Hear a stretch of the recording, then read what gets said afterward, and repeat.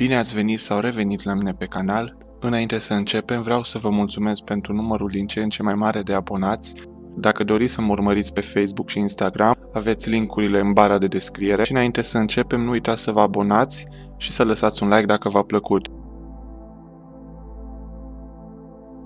Ușor incomozi, dar indispensabil femeii moderne, disponibil în nenumărate forme, culori și modele, Pantofii cu toc au fost și încă sunt de mare interes, atât pentru femei cât și pentru bărbați. Numai că de-a lungul vremurilor respective s-a modificat. Timp de generații, pantofii cu toc au simbolizat feminitatea și rafinamentul, dar nu așa a fost întotdeauna.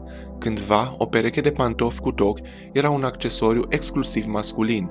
Pantofii cu toc au multe atribute, dar practicabilitatea nu este unul dintre ele. Doamnele și domnișoarele cu gesturi fine și tocuri înalte sunt sfătuite să nu calce pe iarbă și nici pe gheață, trotuare cu piatră cubică sau podele alunecoase, iar atitudinea rebelă, nesocotirea regulilor, ar putea produce numeroase prejudicii purtătoarei.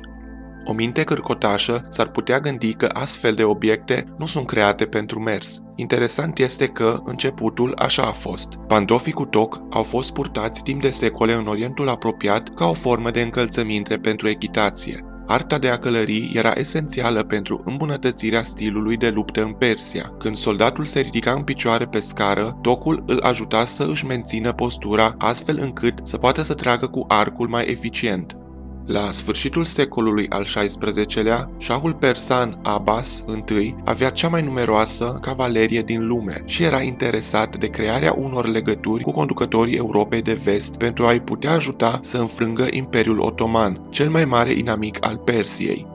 Astfel că în 1599 Abbas I a trimis prima misiune diplomatică în Europa, la curțile Rusiei, Germaniei și Spaniei. Europa fusese cuprinsă de un val de interes privind toate lucrurile de origine persană, așa că pantofii în stil persian au fost adoptați cu mult entuziasm de aristocrația occidentală, în căutare de modalitate de a spori aspectul viril și masculin, pantofii cu toc fiind considerați dintr-o dată impulsul de care era nevoie. Însă, pe măsură ce noua modă a încălțămintelor înalte s-a strecurat în înaltele clase inferioare ale societății, pe străzile noroioase și denivelate ale Europei în secolul al XVII-lea, acești pantofi nu aveau niciun fel de utilitate, ba chiar asta era intenția. Una dintre cele mai eficiente căi de a sublinia statutul social este apelul la impracticabilitate menționând că în clasele sociale superioare era cultivată ideea achiziționării de încălțăminte incomodă, dar somptoasă pentru a marca statutul privilegiat, punctând că aristocrații nu muncesc pe câmp și nici nu trebuie să meargă foarte departe. Unul dintre cei mai avizi colecționari de pantofi a fost regele Louis al XIV-lea al Franței. Pentru un rege, Louis era mai degrabă scund, cu o înălțime de numai 1,63, dar și-a ajustat statura cu încă 10 cm cu ajutorul tocurilor, adesea decorate minuțios cu scene din bătălii importante.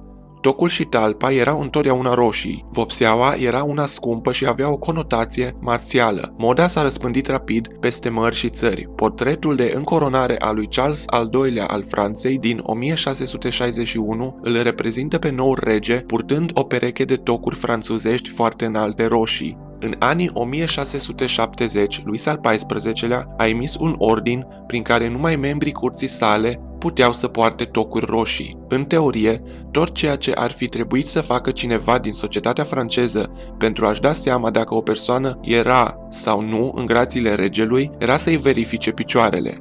În practică, totuși, erau disponibile și varietățile de imitații.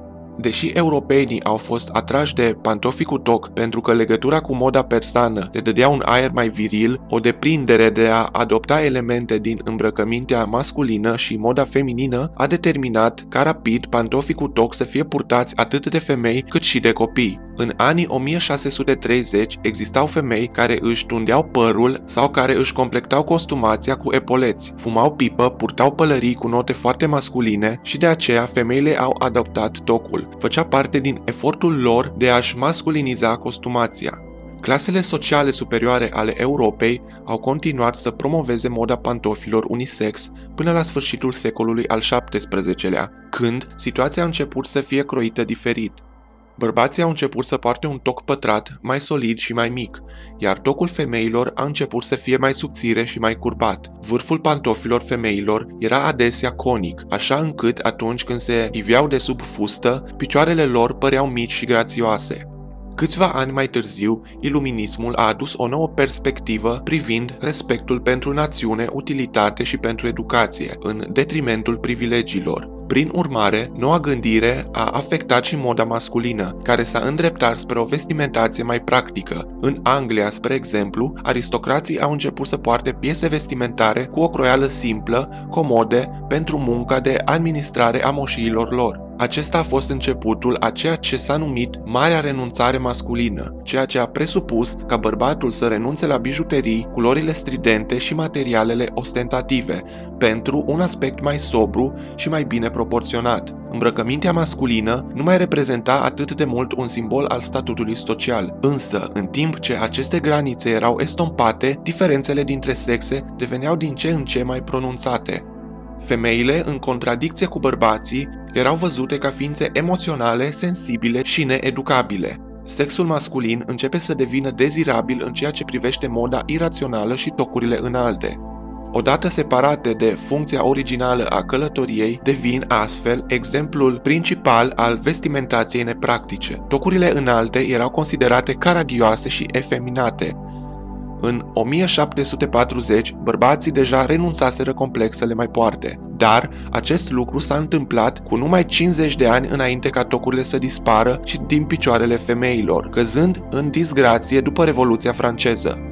Pantofii cu toc au revenit la modă în mijlocul secolului al XIX-lea. Pornografia a fost printre primele domenii de activitate care a îmbrățișat noua tehnologie și a început să facă fotografii cu femei nude pentru cărți poștale. Modelele erau surprinse în posturi care aminteau de nudurile clasice, însă purtau încălțăminte modernă cu toc. În anii 1960 a avut loc o revenire la pantoful cu toc mic, de tipul cizmelor cowboy pentru bărbați, iar în anii 1970 domnii defilau în pantofi cu platforme, dar epoca în care bărbații călcau pe vârfuri apusese.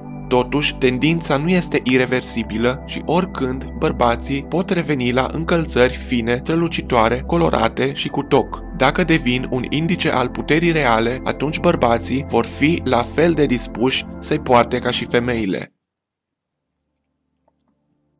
Asta a fost tot, dragii mei. Aștept comentariile și sugestiile dumneavoastră. Până data viitoare, numai bine!